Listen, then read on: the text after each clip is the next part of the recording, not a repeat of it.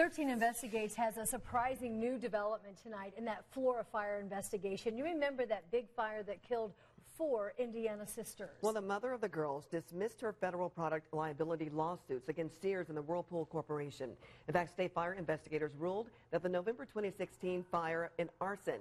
But Galen Rose and her attorneys found a federal lawsuit claiming that the stove in her apartment was partly to blame for that fire that killed her four daughters. The stove was manufactured by Whirlpool and sold by Sears. And now Rose's attorney tells 13 Investigates extensive testing revealed that that stove was not defective. Now, with the appliance ruled out, Rose will continue to pursue a wrongful death lawsuit against her former landlords for failing to install working smoke detectors.